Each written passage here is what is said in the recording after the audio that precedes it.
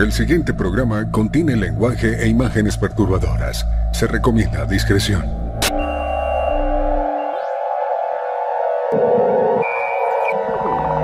Los vampiros, criaturas misteriosas de la mitología y de la literatura, han intrigado y atemorizado a la humanidad durante siglos. Estos seres inmortales y sedientos de sangre se han convertido en un tema recurrente en las historias de terror que han cautivado la imaginación de generaciones enteras. Su imagen, vinculada a la oscuridad y lo sobrenatural, provoca una combinación de fascinación y temor en nuestra cultura.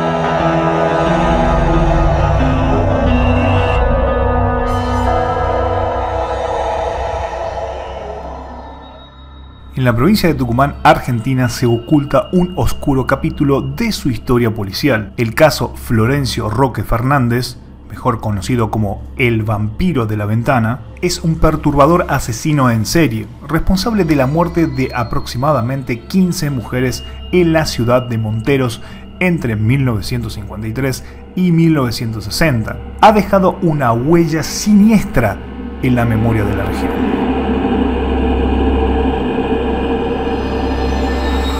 Florencio Roque Fernández nació en 1935 en un ambiente de extrema pobreza en la periferia de Monteros.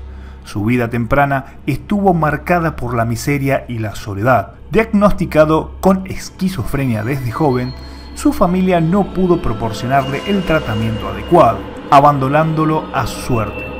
Vivió como un vagabundo, incluso buscando comida entre los residuos para sobrevivir. Ya a una temprana edad era conocido como el loco del pueblo. A los 20 años, influenciado por sus delirios, Fernández se convirtió en un ser solitario que comenzó a sufrir alucinaciones, creyendo ser un vampiro. En marzo de 1953 cometió su primer asesinato. Aprovechando las ventanas de las casas que quedaban abiertas durante las noches calurosas de verano, entró en los dormitorios, golpeó y mordió a sus víctimas en el cuello. El resultado fue desgarrador.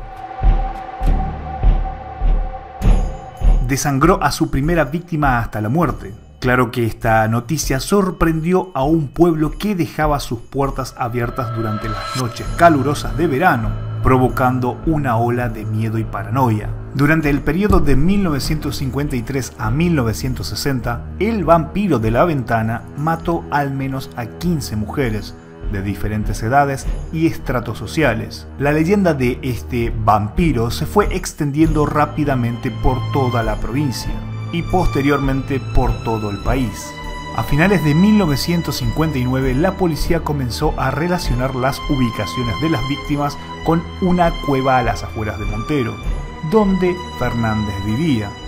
Esta conexión llevó a su arresto el 14 de febrero de 1960, cuando estaba a punto de cometer su decimosexto asesinato. Los investigadores de la Policía Federal lo descubrieron y lo arrestaron. Sorprendentemente, Fernández no opuso resistencia y, curiosamente, reaccionó violentamente solo cuando se lo expuso a la luz del sol, debido a su fotofobia. Y así pasó un tiempo en el cual estuvo encerrado en la cárcel, pero Fernández fue declarado inimputable debido a su diagnóstico de esquizofrenia y se lo internó en un hospital psiquiátrico en San Miguel del Tucumán, donde vivió durante los siguientes ocho años. Finalmente murió de causas naturales, según se estima, ya que no existen registros de su defunción. Sí, escuchaste bien, no existen registros de su defunción. La leyenda del vampiro de la ventana es intrigante y espeluznante, pero los detalles de este crimen han sido cuestionados a lo largo de los años.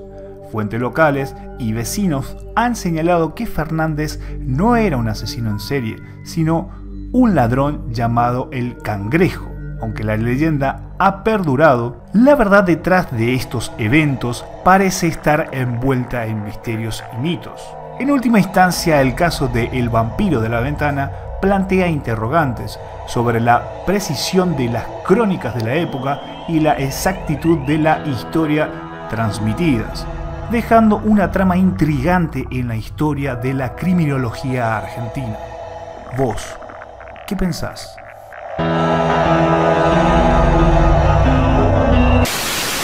Desde ya, muchas gracias por el aguante de siempre. Hace rato que no subía videos, es verdad. Eh, te pido que por favor compartas el video como siempre. Estés pendiente ahí en las redes sociales. Voy a estar intentando hacer streaming seguido por Twitch. Así que te pido un aguante también por ese lugar. Desde ya, muchas gracias. Estás en el canal de Justin. Mi nombre es Gustavo Alegre y nos veremos en siguientes videos. Muchas gracias. Bye.